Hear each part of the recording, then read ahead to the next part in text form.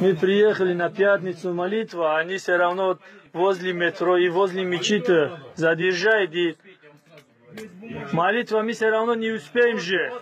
Больше уже час стоим же. Эти молодые люди были задержаны по пути в мечеть и вместо пятничной молитвы вынуждены томиться в полицейском автозаке. Причину такого отношения они так и не узнали, документы были в полном порядке. Рустам один из задержанных, говорит, что ни протокола, никаких других документов на подпись им не давали. Продержали несколько часов в полицейском автобусе, затем привезли в отдел, сфотографировали, сняли отпечатки пальцев и отпустили, как ни в чем не бывало. Мужчина попросил не показывать его лица, дабы не привлекать внимание правоохранительных органов. Я им отдал документ. Они мне сказали, пойдемте проверяем по данной базу. Я говорю, командир, я опоздаю в мечеть. У нас время намаз. А сотрудник полиции говорят, этому, короче, сейчас проверяем и отпустим.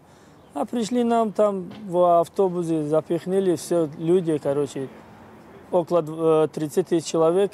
Массовые рейды по задержанию мигрантов на подходе к мечети полицейские не устраивали уже много лет. По негласной договоренности Духовного управления мусульман России и руководства МВД в пятничные дни полицейские мигрантов не трогали. По словам религиозных деятелей, это в первую очередь необходимо для самих полицейских. Многолетний отказ от рейда в пятничные дни сформировал положительный образ российской полиции среди мусульман. По крайней мере в Москве, считают исламские клерикалы. Какой-то э, теракт или преступление – к нам берем, выходит, говорит, вы плохо работаете. Вот вы религиозная организация, вы плохо работаете. Вы не позаботились своих. А вы разве даете нам с людьми разговаривать? Вы же их пугаете, изгоняете. Даете им понять, что в мечеть пойду, это означает весь день потерян как минимум. Они могут найти что-нибудь, посадить, выгнать.